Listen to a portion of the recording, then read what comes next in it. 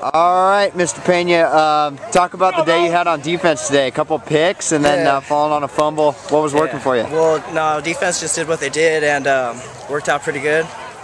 It went the way it went.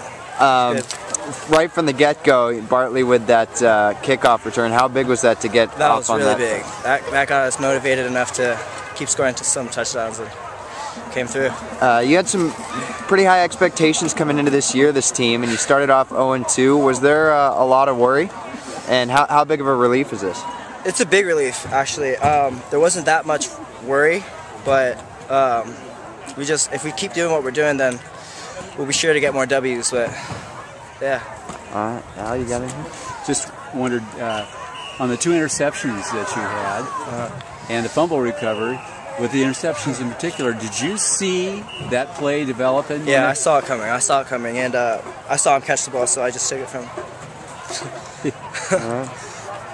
Well, congratulations. Thank Great. you. We're here with assistant coach Nate Mendoza. Coach, congrats on the first win. Thank you very much. Um, pretty uh, straight up the gut game offensively for both teams. Yeah, you know, Bartley started off as on the right foot, you know, got us to a, a 7-0 start. I mean, 12 seconds into the game, and then, uh, yeah, and uh, that was probably the biggest thing for me is, is beating these conquistadors because uh, they, they've been my rival my whole life, being a Lompoc grad, so, so yeah.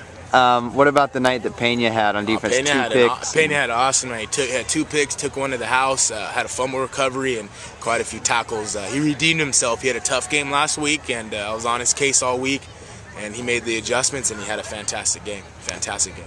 Both teams were, were running the ball straight up the gut a lot. I think they did it 11 times in a row on one drive. Is that the, do you like that kind of game? Is that what you want to get into? Or Yeah, you know, I, I have confidence that if we're playing a team and they want to play smash mouth, I got confidence in my defense. Um, you know, we, we get them geared up, and, and they love those kind of games. They rather play smash mouth than spread them out and throw the ball. You know, they, these guys want to hit. Our, our kids love hitting. If you guys can tell after these three games, they're hitters.